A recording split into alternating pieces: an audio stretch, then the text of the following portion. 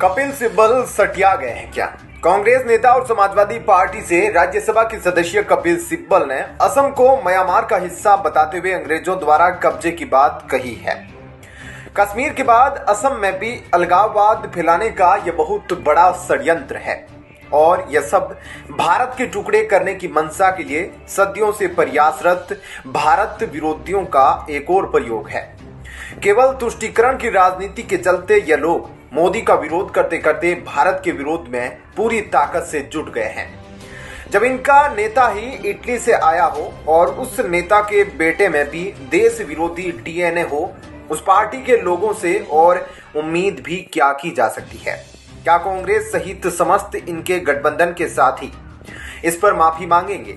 साथ ही अखिलेश यादव भी बताए, क्या वे भी इनका समर्थन करते हैं?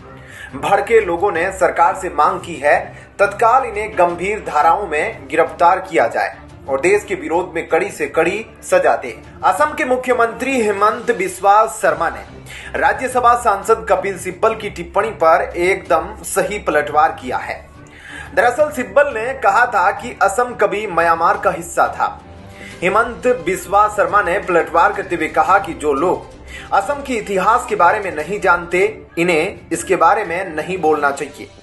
सीएम ने कहा कि जिन्हें इतिहास का ज्ञान नहीं होता है, वो असम को म्यांमार का हिस्सा बताते हैं। सीएम ने कहा कि असम कभी भी म्यांमार का हिस्सा नहीं था। कुछ समय के लिए झड़पे हुई थी। मैंने ऐसा कोई डाटा नहीं देखा है जिसमें कहा गया हो कि असम म्यांमार का हिस्सा था। मुख्यमंत्री ने कहा कि कपिल सिब्बल को इसके बारे में जानकारी नहीं है। इसलिए उन्हें नहीं बोलना चाहिए। पाँच दिसंबर को नागरिकता अधिनियम 1955 की धारा 6 ए की वैधता को चुनौती देने वाली। कई याचिकाओं पर सुप्रीम कोर्ट में सुनवाई के दौरान सिब्बल ने कहा कि एक संधि के तहत अंग्रेज़ों को सौंपे जाने से पहले असम मूल रूप से म्यांमार का हिस्सा था। सिब्बल ने यह टिप्पणी तब की जब वह पूरे इतिहास में जनसंख्या आंदोलनों का पता लगाने की जटिलता के बारे में बता रहे थे। जिसमें म्यांमार का हिस्सा बनने से लेकर ब्रिटिश शासन के तहत इसके बाद के शासन और विभाजन के बाद पूर्वी बंगाल के साथ जुड़ाव तक असम के बारे में ऐतिहासिक तथ्य है। सिब्बल ने सुप्रीम कोर्ट में सुनवाई के दौरान कहा, लोगों और आबादी का प्रवासन इतिहास में अंतर्निहित है और इसे मेप नहीं किया जा सकता। यदि आप असम के इतिहास को देखेंगे तो आपको पता चलेगा कि यह पता लगाना असंभव है कि कौन कब आया। सिब्बल ने कहा था कि असम मूल रूप से म्यांमार का हिस्सा था।